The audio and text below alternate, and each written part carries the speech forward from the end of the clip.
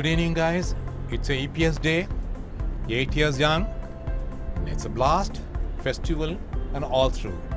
Continue to basically just you know be present, all warm, flesh and bones, and enjoy your day on 8th EPS day. Thanks a lot.